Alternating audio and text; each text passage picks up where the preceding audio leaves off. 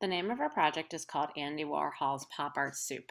But before we draw a can, design our soup, and do our digital print, let's learn a little bit more about Andy Warhol pop art and what printmaking is.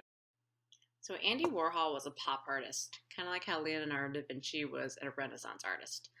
Pop art was mainly in Europe and America in the 1950s forward, and Andy Warhol was best known for his printmaking.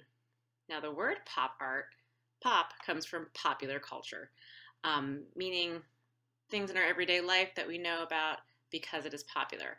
Um, it, it also focused on advertisements as well as comics for style. Printmaking is an image transferred from a prepared plate, block, or screen. So think of like a stamp. That's a printing block. And that's transferred onto a surface, such as paper or. And our last word we're going to talk about is repetition, which is our principle of art for this project, which means to repeat. So the key is that by the end of this project, we'll have something that has multiples of our image, not just one. So today what we're going to do is we're going to be designing a soup can that's inspired by pop art. Um, it will look something kind of like this, but I'm just going to show you how to draw the can and then it's really up to you to design all around it. Um, there will be some part of today where you are going to stop and take a picture of the black and white version of this, um, and then you can color it afterwards because we're going to do something special online with the black and white version. Um, so I'm going to draw a marker. I want you to draw in pencil. When you're done, however, I need you to go back and marker so that your lines are thick uh, and really bold. But first we're going to start with a can. So a can is a cylinder. So to, draw, a cylinder, what we're going to do is we're going to start with the top. The top is going to be an oval. So go ahead and draw, once again, you're doing this in pencil, an oval about two thirds up the page so that way you have room for the rest of the can. After that, you're gonna find the farthest left and right point on the oval. So if you have like a ruler, you can take it, slide it over until it reaches the very edge. Then you can draw a line straight down, kind of parallel with the paper for one side of the can. Do the same thing, take your ruler, slide it over until it reaches the edge of the oval, draw a line straight down, parallel to the edge of the page. Now, because this is a can, um, the top is a circle and the bottom is also going to be a circle. So we can't really see that circle, um, but instead of a straight line across, you're going to do a curved line to close the bottom of your can. So draw a curved line like that. It's the same curve as this one up here, um, if you want to match how like curved the actual thing is. Um, up top, you're going to want to do the top of the can. So inside of the can, or the top of the can, we're gonna do one oval like that, and another smaller oval inside, just so it kind of looks like that texture, the bumpy texture on top of your can. Now for design, this is really up to you. So you've seen the style sheet. I've also written some words that are traditional pop art words as well as words that maybe we use um, to decorate around your can. So, for example, um, I made my can say Mrs. Dykes Art Soup. I put a wow at the top, and then I used some stripes, some dots. I used the cloud to accent it. Um, and for my wow, I used an explosion. So I want you to think about making a soup based on something that inspires you in pop culture. So it could be either maybe a game you play, or um, it could be an app that you use if you have a phone. Uh, it could be like a TV show you watch.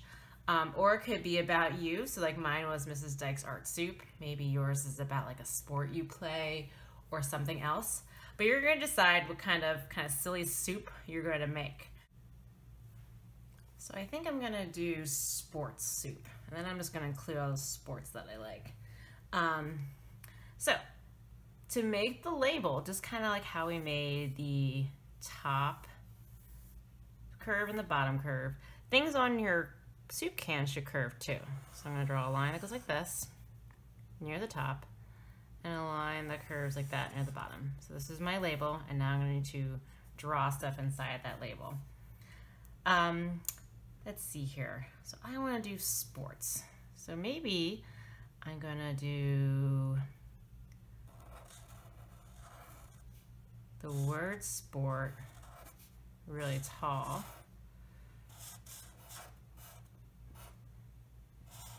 Sport and then maybe I'll maybe I'll add some pop art kind of things to it. And once again, I want you to make your own type of soup. You can just watch this to kind of see how my brainstorming kind of works. So sport. and then, see here. And it could be soup. It could be stew. Let's do stew. Sport. And then, let's do down here. Stew.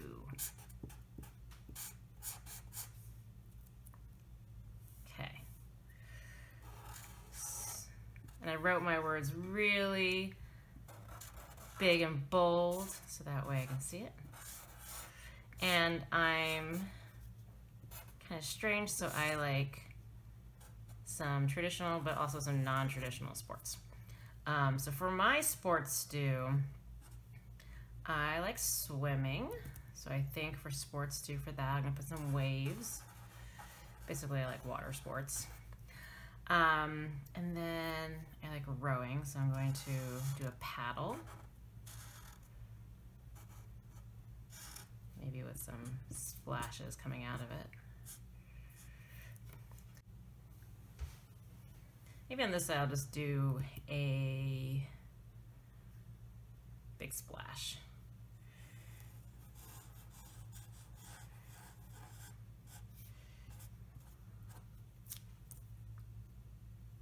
Maybe I'll put water flavored or something weird like that. Water flavor. Ah, that doesn't sound very appetizing, but that's okay. Okay, so I have my sports stew. Um, after that, now I have to kind of think about decorating around it um, with some of my pop art styles. So maybe for this one, because it's sports and it's kind of exciting, um, will put a POW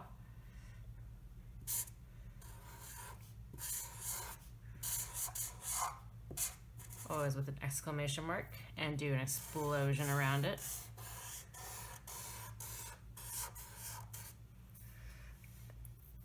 Maybe I'll even put a a yes and put an explosion around it.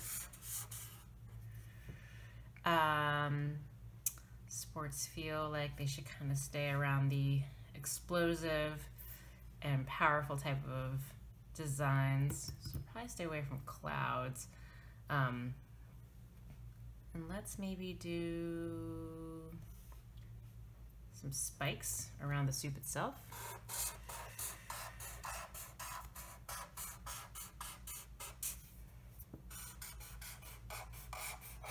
Also, if you haven't noticed, some of my lines are a lot thicker than the others. Like water flavor was kind of skinny, but sports stew was really thick. You could even double it up and make some of the lines even thicker. Um, it will make certain things stand out more than others.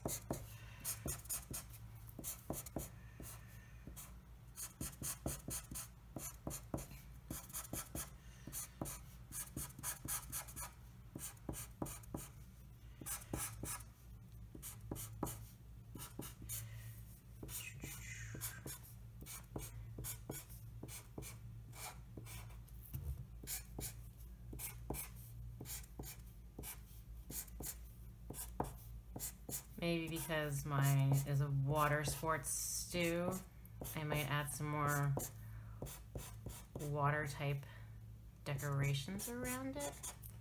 So maybe I can do, I like to do the rays Um, I think those really help with this.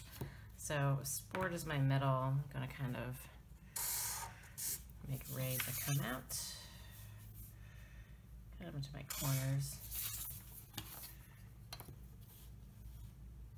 I'm lining things up in the middle so that way it looks like that coming from behind my design. I have these rays coming out like a sun behind it. And then maybe I'll do some droplets on the outside. Kind of cartoony droplets because pop art kind of is cartoony.